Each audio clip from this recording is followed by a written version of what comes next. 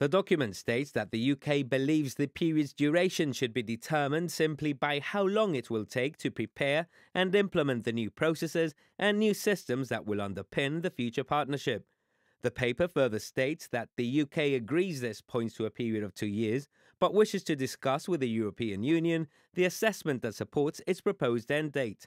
Although the Prime Minister had previously made a request for a two year transitional period, the reference in the leaked document is the first instance of the transitional period possibly being more open ended than originally thought.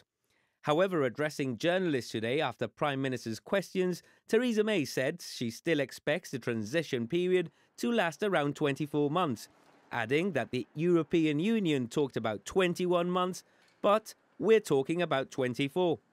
In the leaked paper, there is no explicit rejection of the EU's demand that all European nationals arriving in the UK during the transition period must be given the same free movement rights as those who arrived beforehand.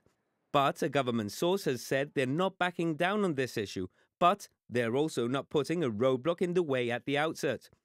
Earlier this month, the Prime Minister insisted that EU citizens who arrive during the transition period must be treated differently. The position paper also proposes establishing a joint committee so that problems arising during the transitional period can be dealt with in good faith.